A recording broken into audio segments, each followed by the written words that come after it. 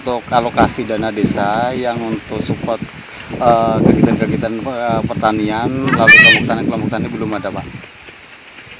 belum ada sama sekali Belum ada sama sekali. pernah diusulkan atau enggak Ya eh, usulan-usulan itu kita pernah eh, di Musrenbang kita usulkan, cuman itu belum eh, informasi dari desa waktu itu belum bisa dialokasikan dikhususkan untuk pembangunan-pembangunan fisik.